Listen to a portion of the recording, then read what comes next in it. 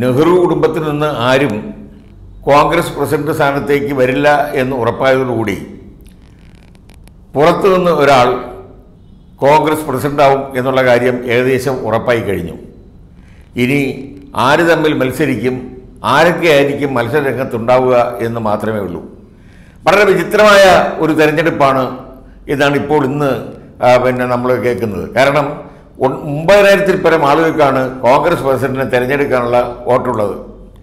ആ ഒമ്പതിനായിരത്തിൽ പരം പേർക്കിടെ പട്ടിക പുറത്ത് ഇറക്കുകയില്ല എന്നാണ് എ സി സിയുടെ പിന്നെ ചുമതലയുള്ള A C C general secretary നമ്മുടെ കെ സി വേണുഗോപാൽ സംഘടനാ ചുമതലയുള്ള ജനറൽ സെക്രട്ടറി. അദ്ദേഹമാണ് ഇതിന്റെ പരമാധികാരി. അദ്ദേഹം പറയുന്നു ഒരിക്കലും ആ പട്ടിക പുറത്ത് പറയില്ല. അങ്ങനെ ഒരു പാരമ്പര്യം ഇല്ല എന്നാണ് പറയുന്നത്.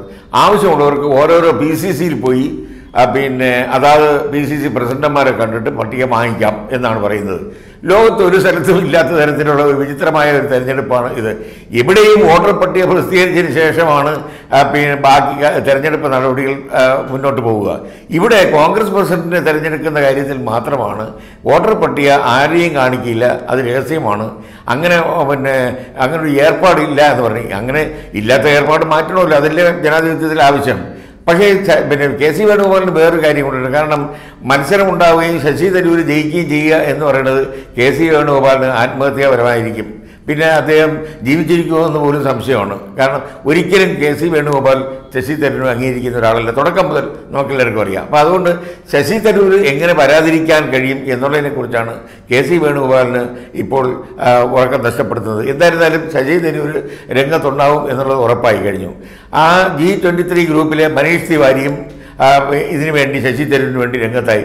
ജി ട്വന്റി ത്രീയിലെ ഇരുപത്തിമൂന്ന് നേതാക്കന്മാരും പുതിയൊരു കോൺഗ്രസ് പ്രസിഡന്റ് വരണമെന്നും അത് നെഹ്റു കുടുംബത്തിൽ നിന്ന് പുറത്തുള്ള ആളായിരിക്കണമെന്നും ശശി തരൂരായിരിക്കും ഏറെ അഭികാമ്യനെന്നും അവർ പറഞ്ഞു കഴിഞ്ഞു. അതിനുള്ള ചരട് വലിയ തുടങ്ങിക്കഴിഞ്ഞു. പക്ഷേ നെഹ്റു കുടുംബം ഇതിനോട് യാതൊന്നും ഇതിനെ പ്രതികരിച്ചിട്ടില്ല. ശശി തരൂരിന്റെ കാര്യത്തിൽ നെഹ്റു കുടുംബത്തിന്റെ ഉള്ളിലിരിപ്പ് എന്താണെന്നറിയില്ല.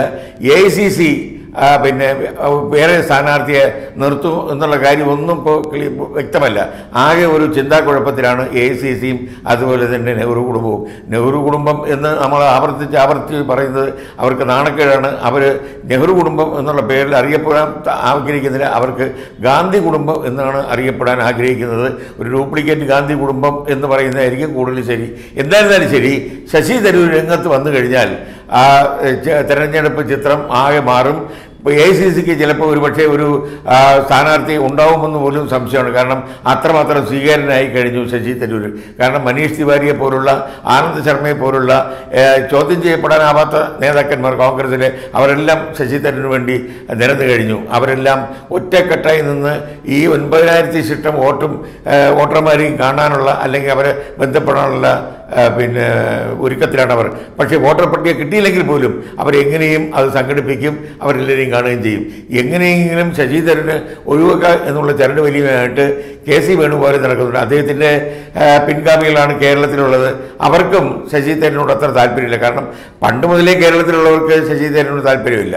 അദ്ദേഹം എവിടുന്നോ വന്നിറങ്ങിയ കെട്ടി ഇറക്കിയ സ്ഥാനാർത്ഥി എന്നുള്ള മട്ടിലാണ് അദ്ദേഹത്തോട് തുടക്കം മുതൽ തന്നെ പക്ഷേ അദ്ദേഹം നിരന്തരമായി ജയിച്ചുകൊണ്ടിരിക്കുന്നു. ഇതാണ് അവർക്ക് ഒഴിച്ചു നിർത്താനും വയ്യാത്തൊരു അവസ്ഥ വന്നിരിക്കുന്നത്. എന്തായിരുന്നാലും കാത്തിരുന്ന് കാണാം. ശശി തരൂർ വരികയാണെങ്കിൽ തീർച്ചയായിട്ടും കോൺഗ്രസിന് ഒരു പുതുജീവൻ വരും എന്നുള്ളത് ഉറപ്പാണ്. ഈ പഴയ രീതിയിലുള്ള ഏർപ്പാടുകൾ പോയി. അതുപോലെ തന്നെ ഉപജാപക സംഘത്തെയും അദ്ദേഹം അടുപ്പിക്കില്ല.